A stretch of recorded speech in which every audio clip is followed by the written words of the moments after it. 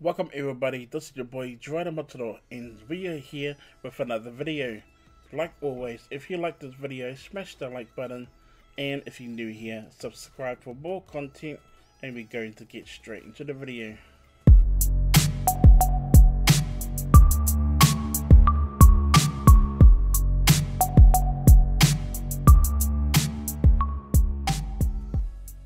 Welcome back everybody. Before we do get straight into the video, I would like to give a big shout out and thank you to the supporters of this YouTube channel.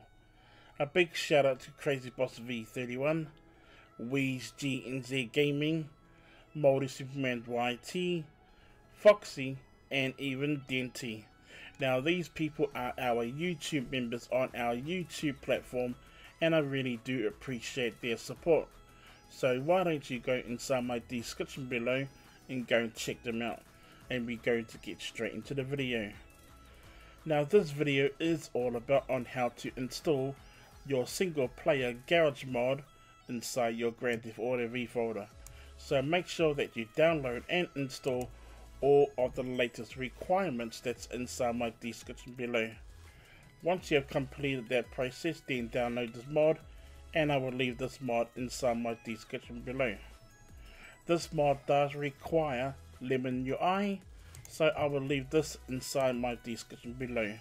So make sure that you guys do download Lemon UI. Don't forget to download Enable All Interiors, and I will leave this inside my description below as well. So let's get started. Once you have finished downloading all of your files, go to your Grand Theft Auto V game, hover over it, right click, and open file location. This next step is crucial. Make sure that you go to your scriptv.ini file and make sure that you change your reload key to insert. Make sure that you do save it. Next, make sure that you do have scripts folder make sure that you rename it all lowercase as well. Open up your scripts folder and now as you can see my scripts folder is completely empty. So let's get started. Open up your Lemon UI extract folder. Go to your SHVDN2 folder and now select all the files and now drag it inside your scripts folder.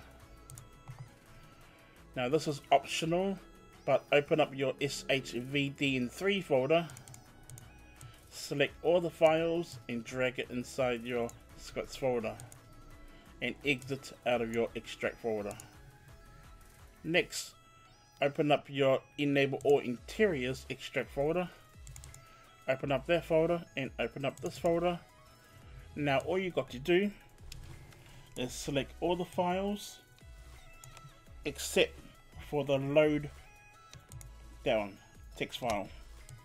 Then drag it inside your scripts folder.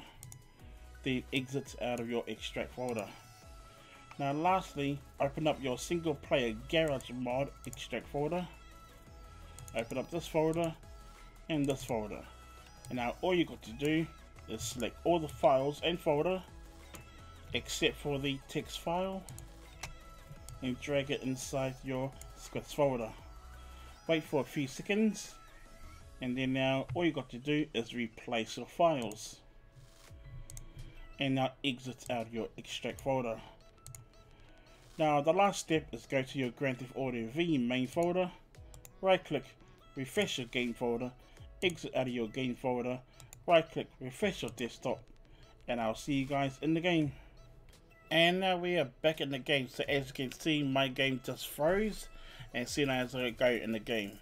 So before you do anything, go to your contacts on your phone and now go right down to the bottom. Now the first thing that you must do is go to enable interiors. Now once you have done that, then go to change an interior. Then now you can enable what area business you want to enable but I'm going to skip all this and go right down to the bottom to MISC options and now go to load MP maps and now change that to true. Now next go and enable blips as well and change that to true. Now this is optional but I always do this change this one over here to true. Go back out and then go to refresh interiors. Wait for a few seconds, then back out again. And now all you got to do is go on your keyboard and press insert. Now your game will freeze for only a few seconds, don't worry. So now let's go and have a look and have a look at the mod. So when you go to the map, okay, you'll see a few things over here, okay. Um, so the garage that we are going to test this mod is over here. We're gonna test the mod inside this garage over here. And now we are here at the location. We are at this garage over here, which is basically over here somewhere. So once you're inside the garage over here, okay, now you can just come over here to the marker and now it will tell you what to do and um, you can save your vehicle by pressing E or press Q to enter. So as you can see I've got no car but when you press Q on your keyboard you'll teleport inside the garage. Now you will need to wait for a few seconds okay for the mod to actually load okay then there you go. So yeah this mod 100% works. I really like this mod. But if you want to save a vehicle, you can go to your vehicle and now on your keyboard press Q to save. And now press, hang on, press Q to save and now you can press E to take the car out for a ride. And now you can take the car out for a ride. Pretty cool. But if you want to take the car back inside your garage, you can. And then now you can just take it back in the garage if you want to. And just come and hover over the marker and press, uh, hang on guys, press Q. And then now you'll teleport back inside the garage. And as you can see, the car is back over here again. So that's pretty cool guys. So I hope you guys do enjoy this mod.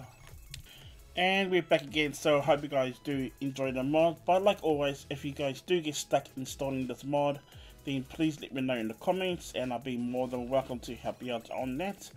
Or if you do get stuck installing any other mods, then please let me know in the comments and I'll be more than welcome to help you out on that.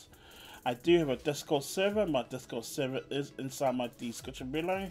So go and check that out and make sure that you do verify by PC modding support.